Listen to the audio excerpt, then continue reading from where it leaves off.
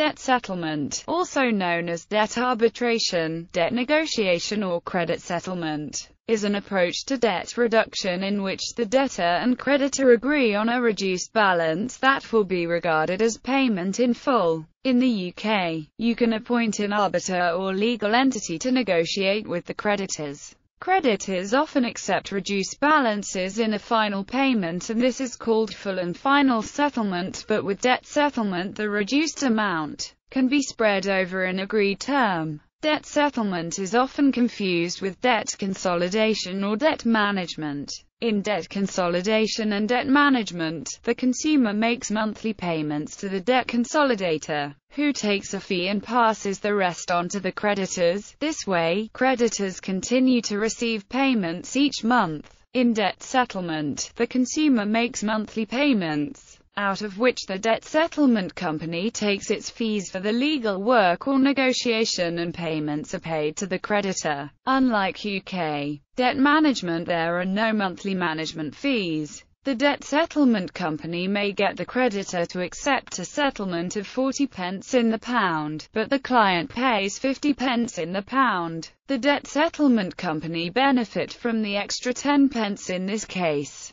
In the UK, creditors such as banks, credit card, loan companies and other creditors are already writing off huge amounts of debt. Most creditors are open to negotiations and are willing to accept reductions of 50% or more. Debt settlement allows the public to spread payments out over a set term, instead of having to pay a lump sum in one go which is the case with full and final settlement. Many people are taking advantage of debt settlement instead of conventional debt management because they have not seen debt management offer the benefits sold to them. UK debt settlement is not to be confused with full and final settlement where debt management companies have been known to hold on to client funds in which case the creditors get nothing until they decide to settle. Furthermore, the debt management company usually instructs the consumer not to make any payments to creditors. The intended effect is to scare creditors into settling the debt for less than the full amount. Typically, however, creditors simply begin collection procedures, which can include filing suit against the consumer in court. As long as consumers continue to make minimum monthly payments, creditors will not negotiate a reduced balance. However, when payments stop, balances continue to grow because of late fees and ongoing interest. This practice of holding client funds is regarded as unethical in the US and UK. US debt settlement differs slightly. There are several indicators that few consumers actually have their debt eliminated by full and final settlement. A survey of U.S. debt settlement companies found that 34.4% of enrollees had 75% or more of their debt settled within three years. Data released by the Colorado Attorney General showed that only 11.35% of consumers who had enrolled more than three years earlier had all of their debt settled. And when asked to show that most of the customers are better off after debt settlement, industry leaders said that would be an unrealistic measure. Consumers can arrange their own settlements by using advice found on websites hire a lawyer to act for them, or use debt settlement companies. In a New York Times article Cindy Geertz, an associate professor at the University of Illinois Law School, states, done correctly, can absolutely help people. However, stopping payments to creditors as part of a debt settlement plan can reduce a consumer's credit score from 65 to 125 points with higher impacts on those who were current on their payments prior to enrolling in the program, and missed payments can remain on a consumer's credit report for seven years even after a debt is settled. Some settlement companies may charge a large fee up front, which ignores a rule from the Federal Trade Commission, or they take a monthly fee from customer bank accounts for their service, possibly reducing the incentive to settle with creditors quickly. One expert advises consumers to look for companies that charge only after a settlement is made,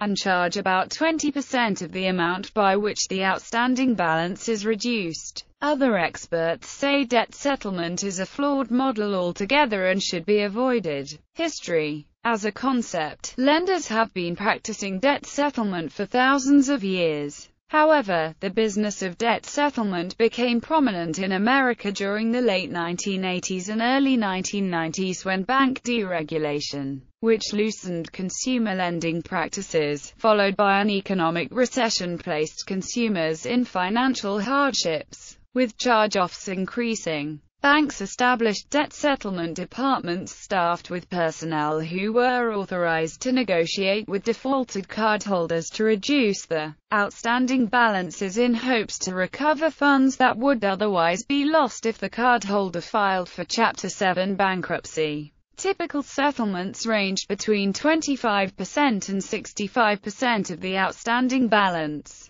Alongside the unprecedented spike in personal debt loads, there has been another rather significant change, the 2005 passage of legislation that dramatically worsened the chances for average Americans to claim Chapter 7 bankruptcy protection. As things stand, should anyone filing for bankruptcy fail to meet the Internal Revenue Service regulated means test, they would instead be shelved into the Chapter 13 debt restructuring plan. Essentially, Chapter 13 bankruptcies simply tell borrowers that they must pay back some or all of their debts to all unsecured lenders. Repayments under Chapter 13 can range from 1% to 100% of the amounts owed to unsecured creditors, based on the ability of the debtor to pay. Repayment periods are three years or five years, under court-mandated budgets that follow IRS guidelines, and the penalties for failure are more severe. Process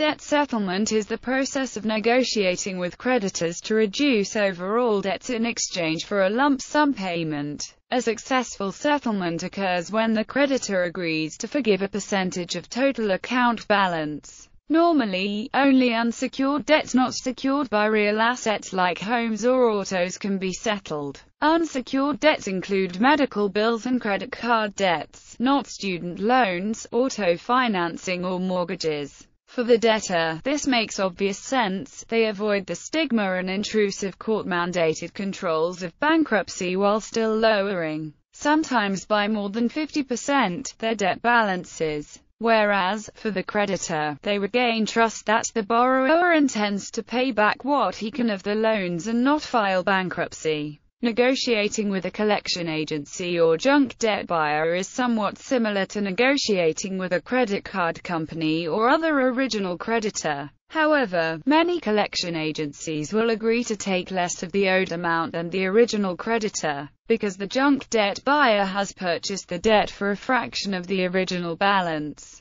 As a part of the settlement, the consumer can request that collection is removed from the credit report which is generally not the case with the original creditor, even if the removal of the collection account from the consumer credit report has been successfully achieved as a condition of settlement during negotiations. The negative marks from the original credit card company will still remain, according to Maxine Sweet, a spokeswoman for credit reporting agency Experian. Professional debt settlement Depending on the country, different laws regulate professional debt settlement companies. In the United States, debt relief companies are required to provide information in advance of a consumer signing up for the services, including the cost and the terms. A legitimate company will use a Federal Deposit Insurance Corporation insured trust account. Once enough funds are built up the negotiation process can begin with each creditor individually. Trust accounts, also known as special purpose accounts, are often held by a bank, and managed by a bank agent.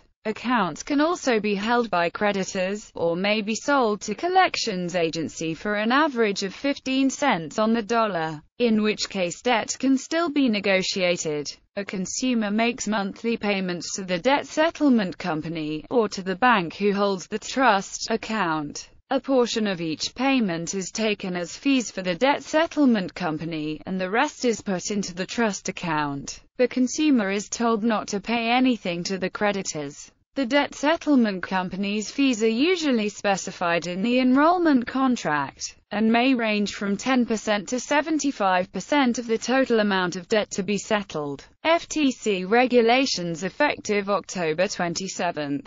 2010 restrict debt settlement companies from collecting any fees from a debtor client for services until settlement with the creditor has been reached in at least one payment made. Advantage is settlement companies generally package their settlements into a larger bulk settlement with the creditor for 35% to 50% of the existing balances. The debt settlement companies typically have built up a relationship during their normal business practices with the credit card companies and can come to a settlement agreement quicker and at a more favorable rate than a debtor acting on their own. With the current economic crisis, more and more credit card companies may be willing to settle existing credit card debts rather than add to their already large written-off bad debt.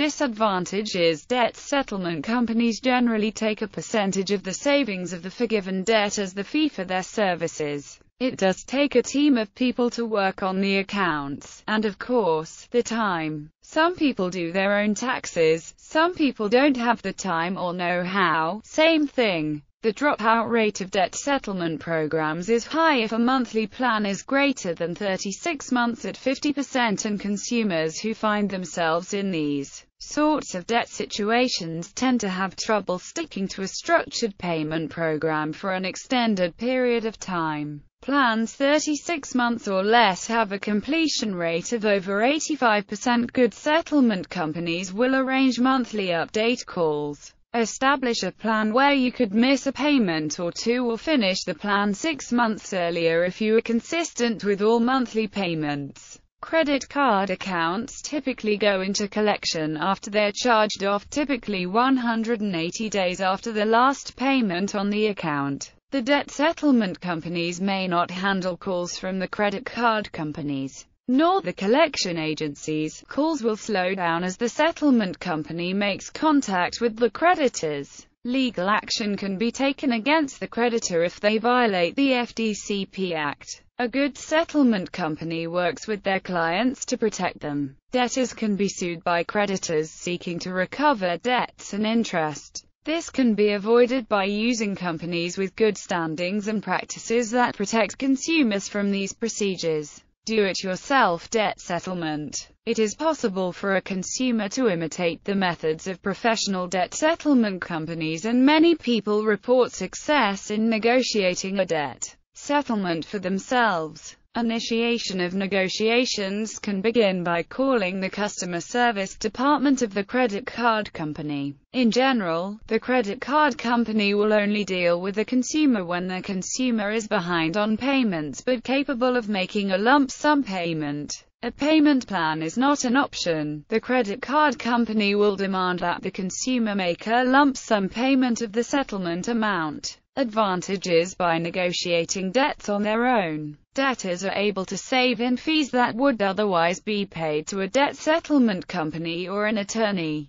This option also gives the debtor more control over the process which may, or may not, be a motivational factor to continue successfully completing the process. Disadvantages While the do-it-yourself option offers the debtor more control and reduced fees, there are negatives generally associated with this option. Creditors have their own policies regarding debt settlement and certain creditors will not settle directly with consumers. Additionally, consumers may face less advantageous settlement rates on their own, as opposed to debt settlement companies that have relationships with creditors and can often package bulk settlements. Consumers may face difficulty getting through to decision makers or long delays in any negotiations or paperwork processing with the creditors. Furthermore, every creditor has different processes and procedures in how they determine settlement offers and terms. Not knowing those can leave a consumer in the dark.